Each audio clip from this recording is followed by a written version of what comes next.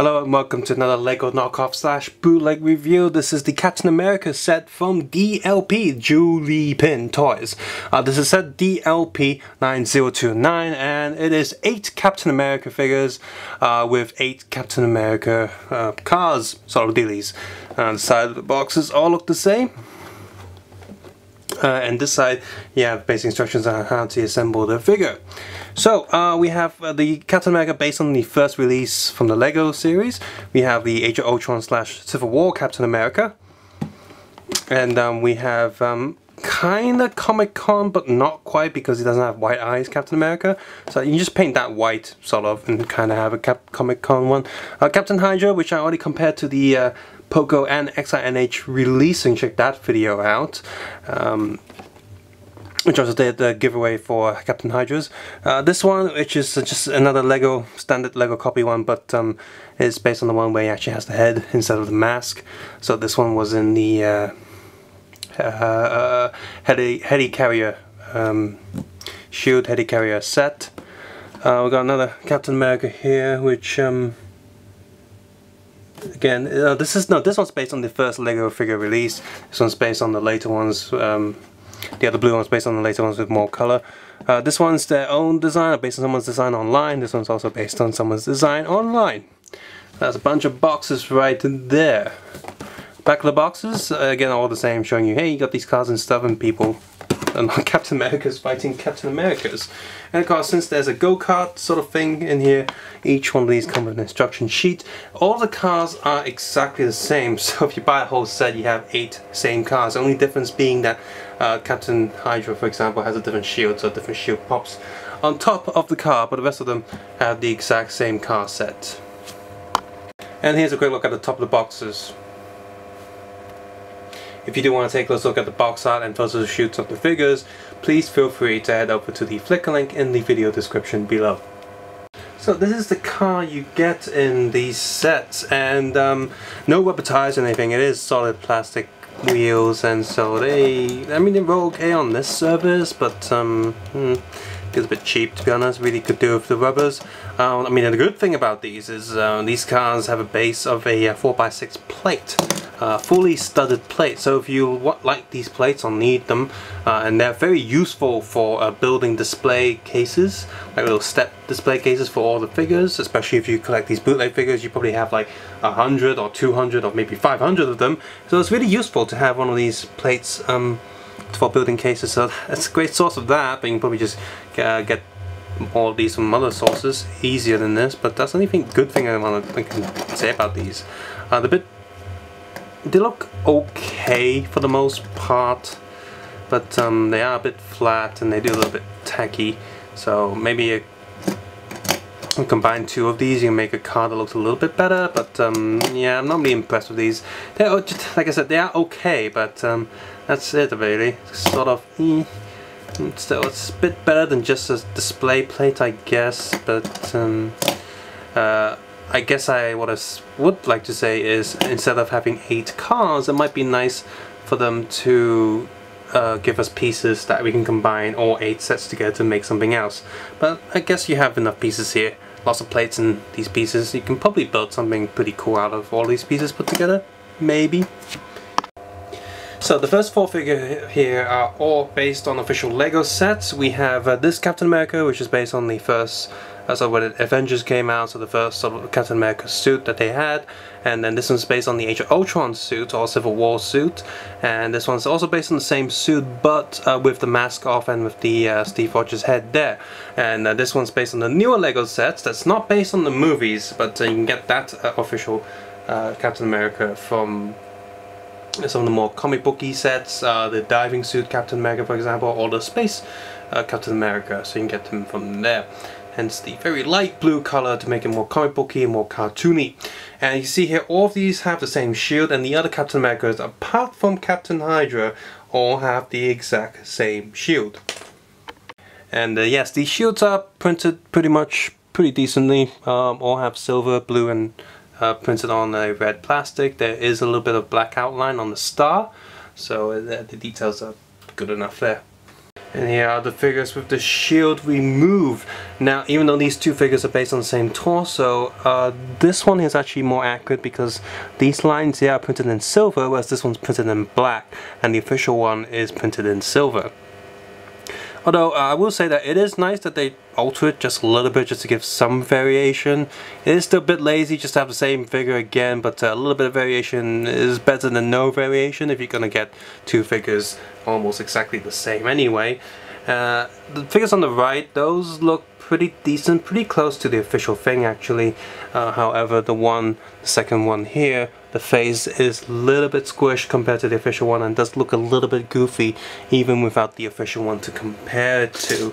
So, and instead of uh, this body, they, um, depending on when they produced it, I guess they could have copied the Mighty Macros, uh, Mighty Micros figure uh, instead of that. So yeah, as for this head here, this head's also pretty good. I'm looking at a picture of this Steve Rogers online and it does look pretty accurate compared to that one. These figures also have back head prints and from what I can tell they are pretty close to the official ones as well and again the print overall is pretty decent on all of them. Uh, I will say that the uh, the only one that is a little bit odd is the Steve Rogers head because um, that's clearly a bit of a warped uh, print right there, the face just looks a little bit wrong.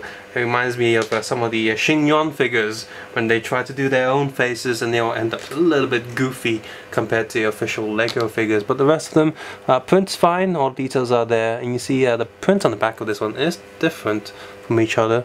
So, hmm, curious. But the next four figures, all these are not based on any previous LEGO designs. Uh, the first one here, now this one I've not seen any other bootleg quite done this design before, but I kind of like it.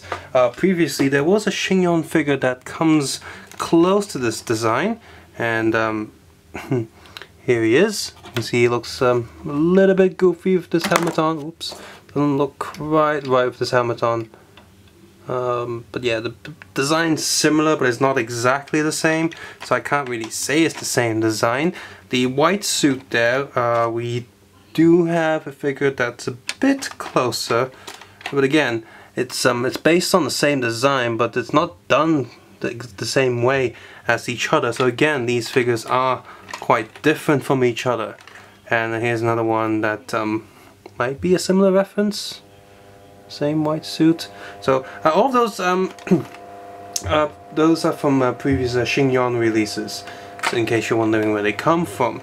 And as for this figure there, which looks like it's based on um, the SDCC figure, again, uh, it's this one. This one, this Shin-Yon one is exact copy of uh, apart from the thick arms from the previous uh, stuff where they had the weird arm shapes. If you're not sure about that, you can check out my old Shin-Yon reviews. Apart from those weird, arm, weird arms, the Shin-Yon one is based on the official uh, Comic-Con exclusive Captain America figure. And again, this figure here is based on the same design because you got the black suit thing going on and the red hands. However, it's it's done differently. so all of them are based on the same designs done differently. And if you want to look at the comparison of the Hydra, you can see that in the Captain Hydra video, the Pogo one, because that one compares that with the XINH and this figure. And again, they're all based on the same design, but but they're done differently in Lego form. So all four of these figures uh, in there were unique to the bootleg world and yet if you're not too bothered about slight variants from uh, other releases then you can probably skip these as well. Me personally, I do like them. I like what they've done here. They do look good, but it's also frustrating that they're not quite different enough for me to really go out and, and, um, and recommend them. They're all nicely done, except for this Captain America here. His uh, his print is a bit messed up there. Um, you see the brown's completely out of line.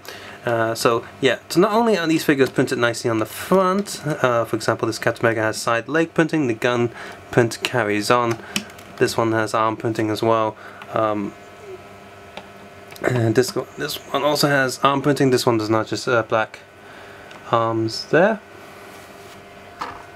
Yeah, a quick look at the back of the figure, you probably notice that the Hydra figure has a secondary head. Uh, nothing to cover the second face with though, so that's a little bit annoying, but um, it is nice that it is there for some variation, uh, so that's you know still a good thing to have. So uh, just you know when you take photos or play around with it, just pretend that face isn't there.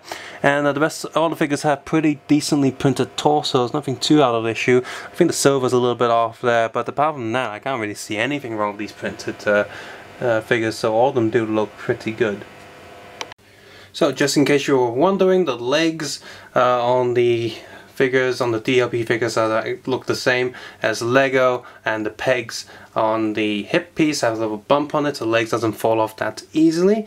As for the figure itself, the arm joint there uses a sort of peg uh, that you get in a lot of these bootlegs instead of a weird uh, sort of C circular shape like the official Lego pieces. There you go. Uh, all of these have really good clutch and not too tight, not too loose. All of them move very smoothly, very well done.